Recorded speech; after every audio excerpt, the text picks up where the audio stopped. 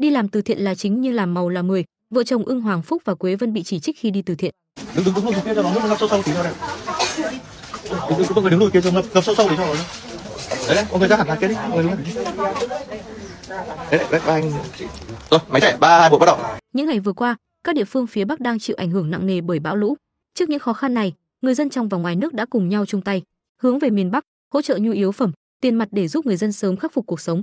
Bên cạnh đó, nhiều nghệ sĩ Việt thậm chí còn đến tận những địa phương đang bị ngập lụt, tận tay trao những món quà ý nghĩa đến bà con nơi đây. Tuy nhiên, mọi chuyện sẽ chẳng có gì để nói nếu cư dân mạng không phát hiện đoạn clip đi làm từ thiện của vợ chồng ca sĩ Ưng Hoàng Phúc và Quế Vân. Cụ thể, đoạn clip ghi lại khoảnh khắc vợ chồng Ưng Hoàng Phúc Kim Cương cùng Quế Vân đang lội nước để đi vào nơi bị ngập lụt.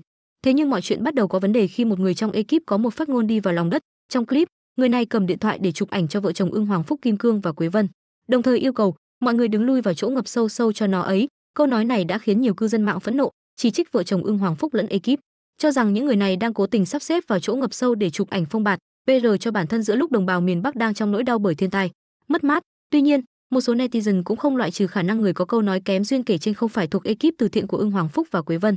Hiện đoạn clip liên quan đến vợ chồng Ưng Hoàng Phúc và Quế Vân đang là chủ đề bàn luận của cư dân mạng và chưa có dấu hiệu hạ nhiệt.